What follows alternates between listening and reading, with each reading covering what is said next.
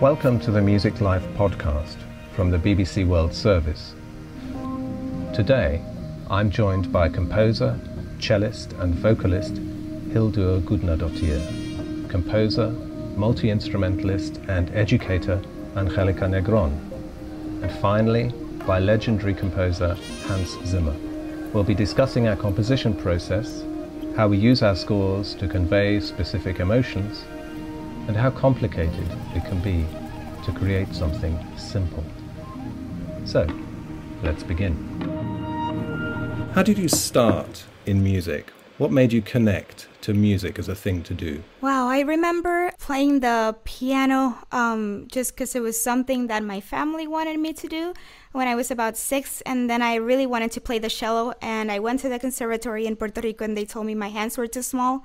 So they gave me a violin. So that's why I became a violinist. Okay. Um, but uh, music has always been around in my life. Uh, Puerto Rico is a very rich musical culture and it's always present. Um, so even though I don't have uh, many professional musicians in my family, my mom is like a badass pandero player and an amazing percussionist. And Okay. um, I've always been surrounded by music and just, yeah, performing at first because I didn't even know composing was a possibility. Right. And then when I found out about composing, everything kind of made sense. Brilliant. What about you, Hildur? What got you started? Pretty much everyone in my family are musicians or doctors, or like some something health related. Mm. So it was it was kind of just a normal thing to do in my family, and I, I just did what everyone else was doing, and just kept on doing it. Kept on doing the, the family Yeah, business. exactly. Keep the family business rolling, right? exactly. That's it. Okay.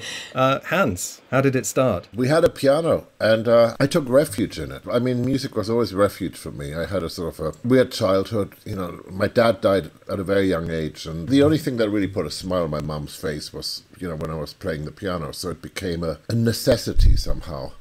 And I very quickly realized that I didn't actually want to do anything else ever in my life. And I was stubborn and got thrown out of nine schools and um, persevered. Right. And, and I didn't care if it was going to be a career or whatever. I mean, the word playfulness was the guiding light in this. That's interesting. That that sort of feeling of not being able to do anything else and therefore committing to music. That's quite common, isn't it, with composers? Because everybody's trying to uh, talk you out of it. Everybody's telling you to get a real Yeah. job, right? Get a job. Uh, get a job. Well, I'm a musician. No, no, no, no. Yeah. What do you do for a living? You know. That's right. It's a classic. So, so Max. Yes. How did you get into music? Well, actually, uh, a little bit similarly to to you, Hans, in a way. I had a you know a difficult childhood. You know, I felt like an alien in my family, and also I I I had this kind of light bulb moment when I was really tiny, three or four years old, something like that, where I I heard the Bach double concerto on a record, and I had this sensation, almost a physical sensation of there were the sounds, but then there was a governing logic behind the sounds.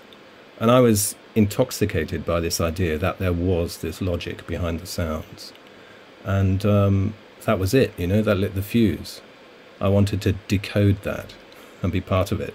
Okay, so I want to move on a little bit and ask you about your creative process, you guys. So, again, starting with Angelica, tell me how you start. How, what's your entry point to a piece of music? How do you find it? Oftentimes, it's either a question um, that I can't figure out for myself, and I find that music is the only way of me trying to not answer it, but trying to understand it. Um, so it often starts with a question Right. and or a pre- preoccupation, um, something that's just bo- bothering me, and that I need to somehow explore in a way that's not words. Then I I find myself oft- often collecting things and kind of either sounds, text, field recordings, stories from other people, and I try to surround myself very much physically in those words and in those stories and in those textures, colors, sounds. Like Hildur, I also I also like starting with a drawing too, even though sometimes the piece ends up going someplace else, and that's okay. But for me, it's a lot less intimidating than just a blank page or just a blank Ableton session. Sure. Um, just uh, trying to find a more visceral connection between my idea and and how it can manifest. Hopefully, a dialogue between myself and the performer, so Sure. so that it's not a piece for a string quartet, but for these four people. That's something really important for me. Okay, so it's about relationships with the performers, with the players. Okay, Yeah. absolutely. I think that connection with individuals, you know, I think that, I mean, it's conversational, isn't it? Music. It's about Oh, dialogue and certainly, the personal dynamics. And yeah, I think that's really important. yeah. I actually think there's something really wonderful about it not being conversational in the normal sense of the word. I think it's very much about listening, and the th- and the thing that um, people that don't play music seem to misunderstand all the time is that musicians are great listeners. You know, uh, they're, they're great players, but I think in a in a funny way, all the great ones are remarkable at listening. You know, and listening to each other and supporting each other, and that's that's that connection is, is very important to me. Yeah, it's, it's all those metaphors, isn't it? You know, tuning in, you know, being in tune, listening, and the collectivity and all of The that. breath, the, the you know the common breath of it. what about you, Hildur? How do you begin? What's your entry point? Yeah, I, th- I think I, I so wholeheartedly agreed to everything was was being said because music for me has always just been a dialogue. It's always been like a way to communicate with other people, like you know the the way we communicated in the in the family, and then the way I communicated with my friends when I was growing up. Because growing up in Iceland, we we didn't really, you know, have much to do. There was, you know, there wasn't internet. We had no airlines. We had basically nothing to do but to just There's hang out. and. No, Nothing to do at exactly. It was like either very dark or very bright, you know. So we mm-hmm. just we used we used the chance to just you know hang out and, and play. So it was always the way to just like you know hang out and, and have a dialogue. And I think that's that's always been kind of the most important element of music for me is to to be with my friends and to form a long-standing dialogue with people. That's that's what I find so remarkable about music is that you can you can really grow with people and form a way of communicating that's way beyond words. You know, you Yeah. can really express something that you can't. Or I mean, I'm really not the word person, so I'm I'm I'm. Uh, I find it way easier to, to connect to my good friends and to my my family through through music. Also, when you're doing music by yourself, you know, when you're playing by yourself, or, or when you're just kind of starting with a piece that you're um, working on, is this inner dialogue as well, and how you have the dialogue and how you enter into it, and and Yeah. I find that very interesting Yeah. because it's also like somehow like even though you're just like playing something by yourself in a room and, and recording it, you know that someday someone might hear it, you know. So it's almost like by speaking to yourself, you're communicating to someone in the future, you know, which I think is really That's beautiful. right. Yeah, and music starts where language stops in a way, right? Yes, sort of- exactly. run out of words and then music. Exactly. It's almost like telepathy, you know, when you when you reach that level of when you've been playing playing with someone or working with someone for decades, you know, and, and you reach the point where you just you don't need to say anything. You just you just understand on like an, almost like a telepathic level, and I just I find that so fascinating and such a um, privilege to be able to to uh, experience with people. Absolutely. What about you, Hans? How do you light the fuse? Usually through a conversation, usually through a sort of a haphazard conversation with a director. I mean, uh, uh, really, uh, Right. very early on, I, I decided all I, all I was going to do was write film music. I didn't want to write songs. I didn't want to write symphonies. I didn't want to do any. I, I just liked this thing, which of course I have never admitted to a director that I liked that their images completed the piece of music for me, which is not necessarily what they want to hear. But Right. I think where, where it became very important is just this idea of having a conversation. Um, very often, the director desperately trying to tell me what he wants, and of course, my job being to figuring out what he doesn't even know that he wants. Uh, You know, my job is to do the unimaginable, and the unimaginable has to somehow be a question. And then comes that other point where I just become a really humble chef and I just go around and I go, oh, what's fresh? Oh, carrots are fresh, tomatoes are fresh. I'm never that interested in knowing, even when it's finished, in inverted commas, when it's finished. I like the possibility that it always is unfinished and there's, there are always doors open, little holes left, uh, very much on purpose. Look, you did it. You did it beautifully with Vivaldi. There were moments, there were holes in there that that you felt compelled to go and investigate. Right, yeah. It was like um, I was thinking it's like a road trip Yeah. through mm-hmm. Yeah. Mm-hmm. Vivaldi's mm-hmm. landscape. You know, mm. it's like off road. The detours sometimes that, are the you know. best Yeah. part. beautiful landscape, but let's go off road. Yeah, exactly. right. Yeah, yeah. You're listening to BBC World Service, and this is Music Life. I'm composer Max Richter. I'm joined today by composer, cellist, and vocalist Hildur Guðnadóttir, and composer, multi-instrumentalist, and educator Angelica Negron, and finally, legendary composer Hans Zimmer.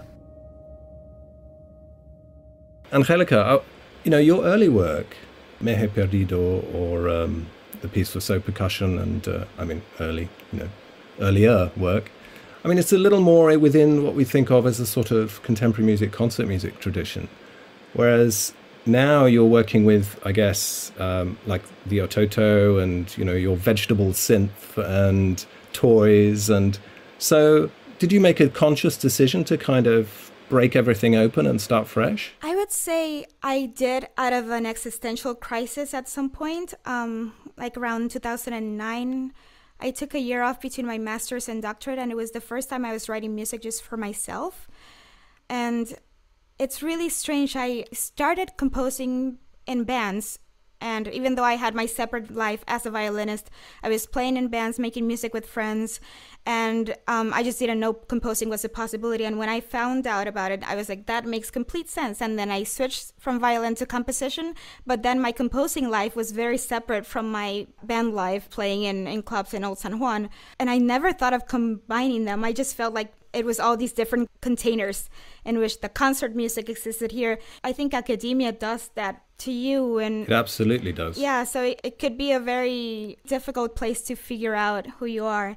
And then I moved to New York, and um, in that year, be, between my master's and my doctorate, I had this deadline. I started the piece like five times, and um, I always composed at the piano because I thought that was what, what composers were supposed to do, even though I was not a pianist. Right. Um, and at the moment, I didn't even use Ableton. I used Fruity Loops Right. because that's what um, I knew because of in Puerto Rico, everyone uses Fruity Loops to make reggaeton It's a legendary Fruity yeah, Loops. they It's sell you the like- reggaeton yeah.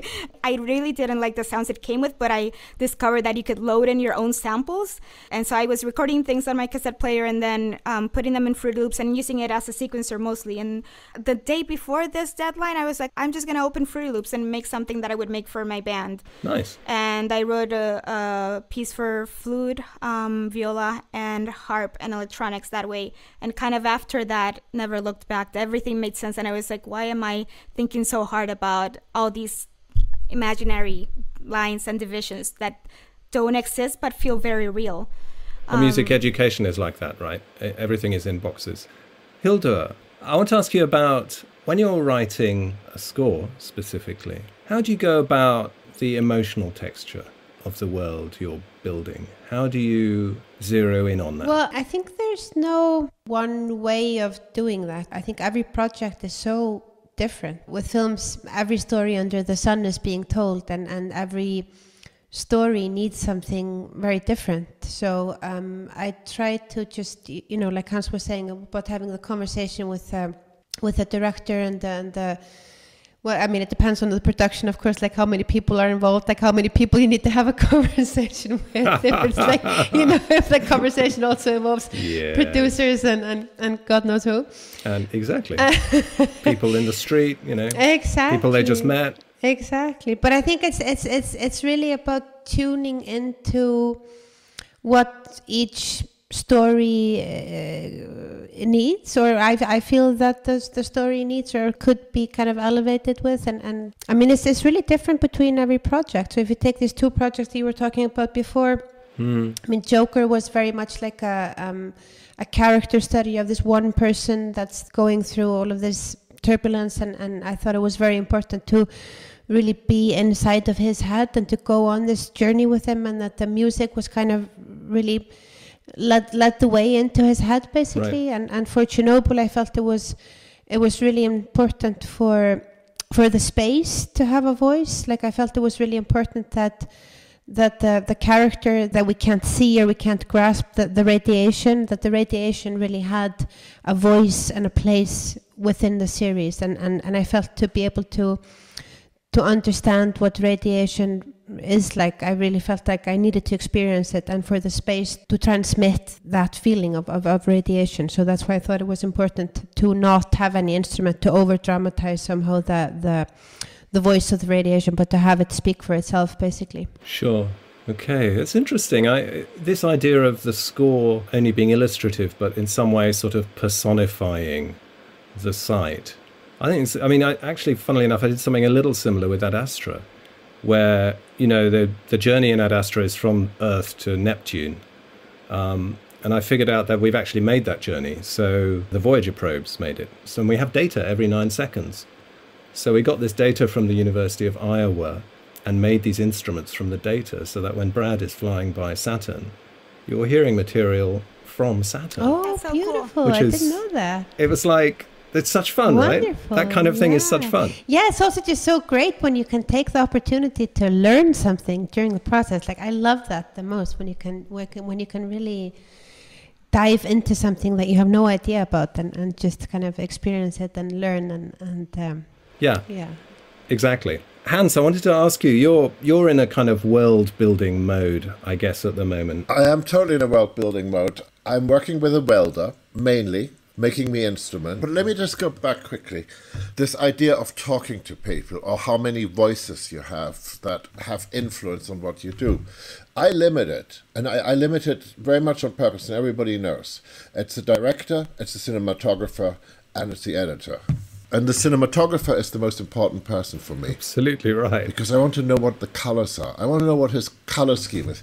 And just as he has problems describing colors in words, I have problems describing music in language. You know, some of the things we do, you do, I do, we we all do, if you play them too early to somebody at a studio who's hoping for their big summer hit, Uh, you're just going to get fired.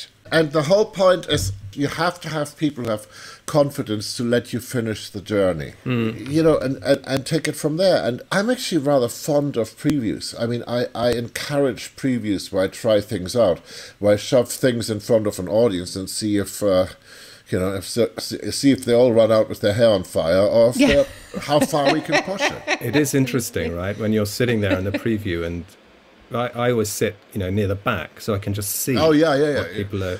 You know, you can just Yeah. see their body language. It's so fascinating, isn't it? And you know when it's not working. the vibe in the room, right? Yeah, you don't.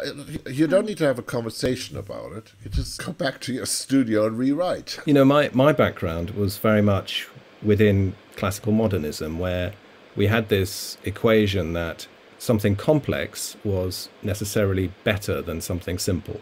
You know, more notes, more data, more like, you know, uh, sort of Boulezian ideas. Do you remember the avant-garde? It was so long ago. Yeah, that's right. The 20th century. Let's just, we're moving on.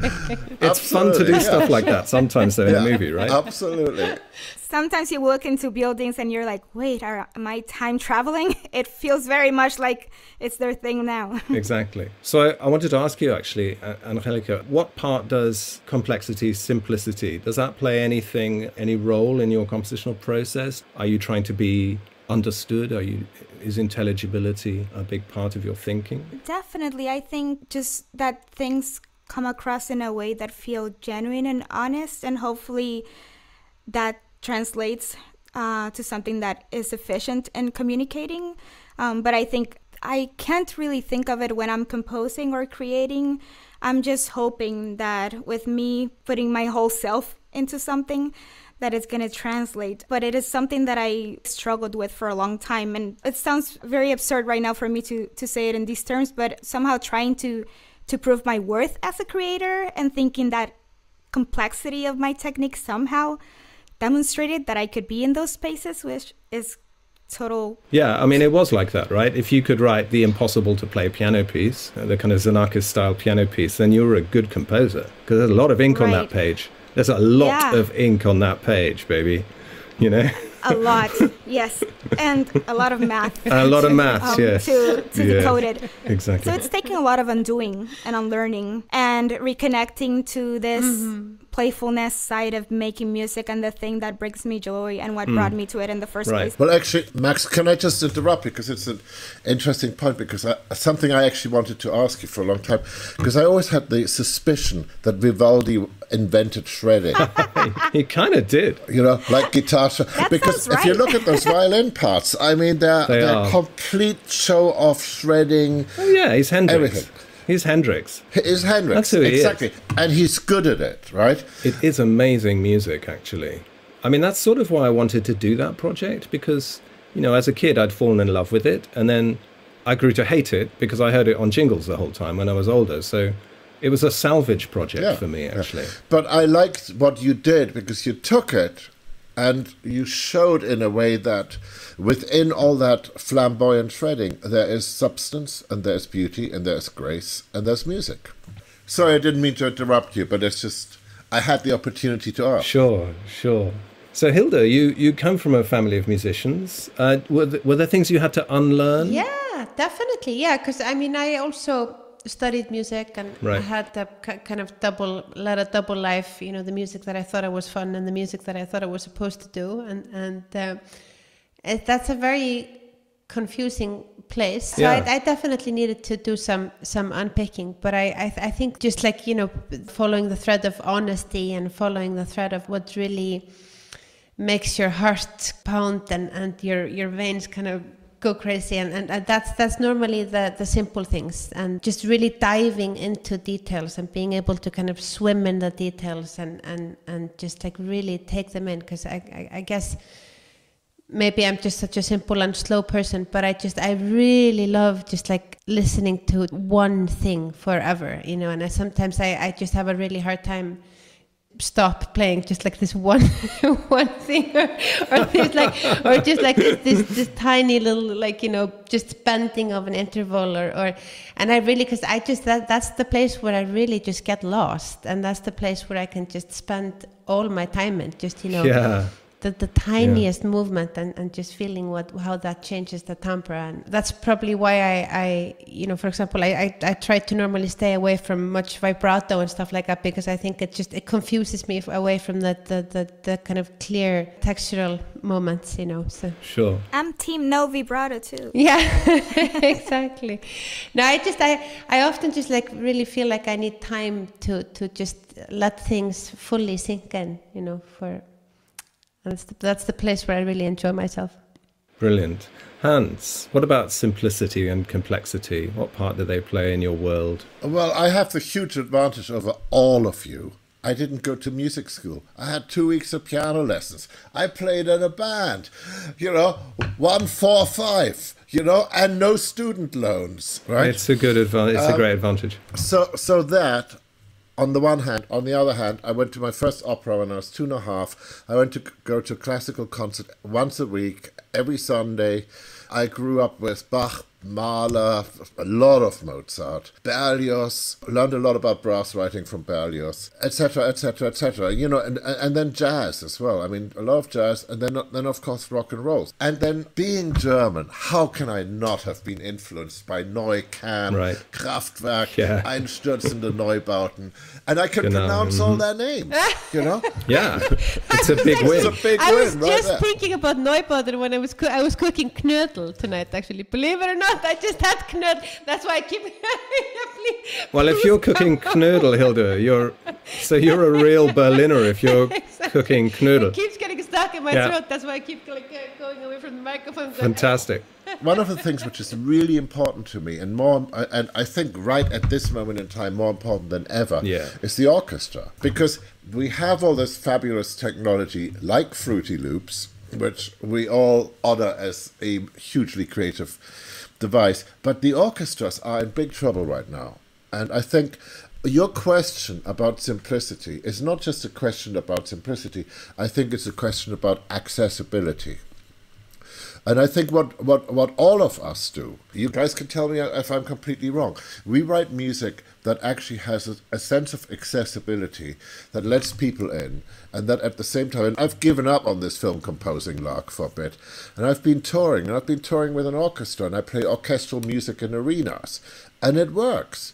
And, you know, I figured out a way of making the orchestra relevant, you know, to young people or to any any people. Forget the young people thing, you know, it's such a cliche.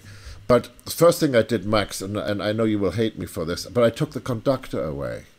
Because we don't need somebody with their back to the audience. Do you know what I mean? We don't need that. And we don't need a bunch of people that, that, that it looks a bit like they've been married for 25 years reading the paper on a Sunday morning. Yeah. You know, orchestras can rock. They totally can. And I think, in a way, the conductor standing at the front, you know, it's it's a sort of microcosm of what the 18th and 19th centuries thought society should be like. Uh, so I want to thank you. Thank you, Hans. Thanks, Max. Thank you, Hildur. Thank you, Angelica. Thank you, Max. Thank you, Max. And you guys, Hans and Angelica. And thank you all for listening. I'm Max Richter.